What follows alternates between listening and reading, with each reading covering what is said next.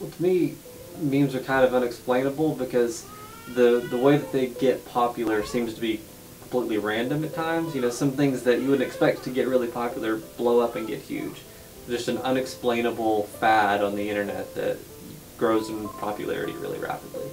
A meme is defined as an image or video that is passed electronically from one internet user to another.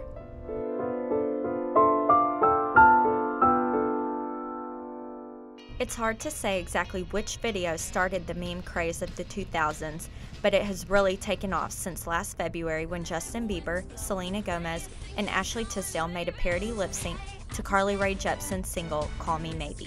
The Shake, a video meme lasting about 30 seconds, made its debut in early February of this year by a group of boys from Queensland, Australia.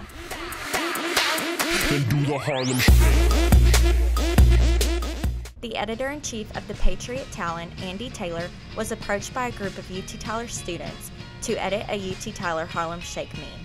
Yeah, a couple of people who were organizing it um, had reached out to the Patriot Talon and, and asked if we wanted to cover it if we wanted to so we took them up on the opportunity.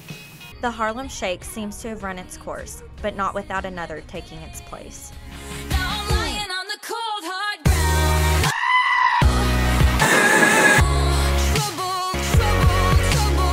They won't last forever, but because they're so diverse, I mean, it can be any random collection of things. I think that's what makes them so appealing, is that they're they are so random.